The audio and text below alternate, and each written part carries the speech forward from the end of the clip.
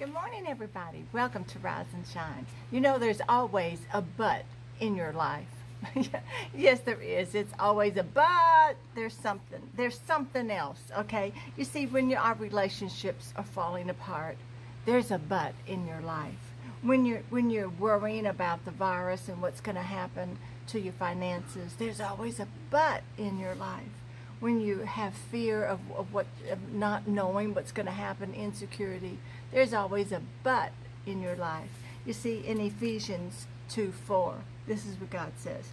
But God, yes, there's where the but comes in. But God, but God is still in your life. But God is still knowing and loving on you. But God is with you. You see, he says, but God, who is rich, who is rich in mercy and because of his great. Now listen how he defines his love for you. Great, because of his great love for you, which he loves you and adores you. So there's always a but in our life, and that but is divine intervention for your life. So don't ever think that it's the end, that your circumstances are just, this is just it. It is what it is.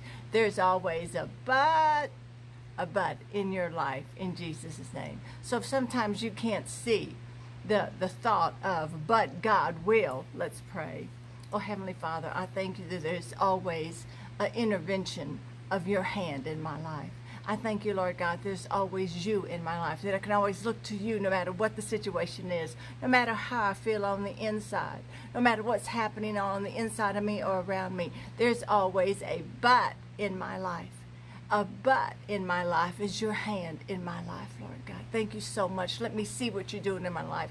Let me have the faith to walk through what I'm walking through with the faith of God that says, but you are with me.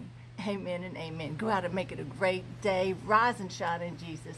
I'm on Facebook. I'm on YouTube and Instagram. Look me up. I'll talk to you tomorrow.